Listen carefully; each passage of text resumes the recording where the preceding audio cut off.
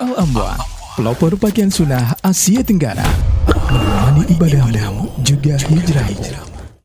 Memang ada khilaf di kalangan para ulama tentang hukum yang terkait dengan masjid. Di antaranya keharusan sholat tahiyatul masjid. Di antaranya terkait dengan larangan berjual beli di masjid. Gitu ya. Nah, ini bagaimana? Ada yang persyaratkan kala itu dibangun di atas tanah wakaf. Jadi termasuk halaman gitu ya katanya. Kalau halaman itu bagian dari tanah wakaf, jualan di tanah di halamannya juga nggak boleh, karena bagian dari tanah wakaf. Nah ini silang pendapat ya yang terjadi di kalangan ulama ya. Walaupun pemahaman jumhur kebanyakannya yang dilarang itu di tempat di situ ditegakkannya sholat ya untuk berjual beli. Ya, adapun tempat yang di situ diketahui bukan tempat untuk utama mendirikan sholat, apalagi dikenal sebagai lahan parkir, ya, maka tidak masalah untuk bertransaksi, berjualan di tempat tersebut. Itu pendapat jumhur. Yang terkait dengan sholat, ya sholat tahiyatul masjid, ya, itu juga sama. Ya, itu juga sama bahwa disyariatkan hanya yang dikenal sebagai masjid yang dikumandangkan azan lima waktu terbuka untuk pelaksanaan sholat bagi kaum muslimin mana pun maka itu sudah dianggap sebagai masjid. Walaupun bukan tanah wakaf. Misal gedung-gedung.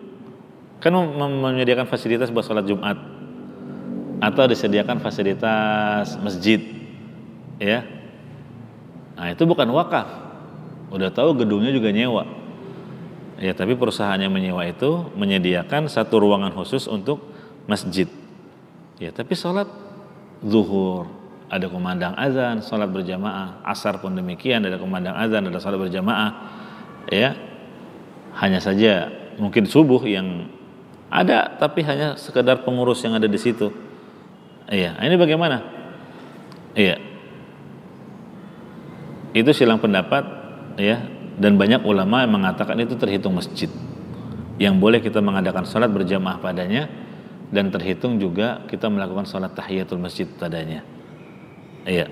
Tapi kalau bukan yang dikumandangkan azan lima waktu, tapi hanya sifatnya pemanfaatan ruangan khusus insidentil Jumatan saja, misalnya lahan parkir, ini kalau bukan Jumatan jadi lahan parkir, ini kalau Jumatan dirubah jadi masjid. Ya maka itu lain hukum. Iya, lain hukum. Iya nggak nggak perlu dia salat tahiyatul masjid di situ.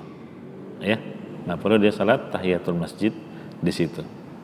Nah, nah terus mengadakan Jumatannya gimana? Nah itu juga khilaf. Ya, ada yang menganggap boleh sah-sah saja. Ya, karena uh, al ardu kulluha masjid permukaan bumi ini semuanya adalah masjid bisa didirikan sholat padanya. Demikian Allah alam yang jelas ini masalah khilafiyah yang kita harus berlapang dada padanya. Iya, barakallahu fiikum. Mustaqim.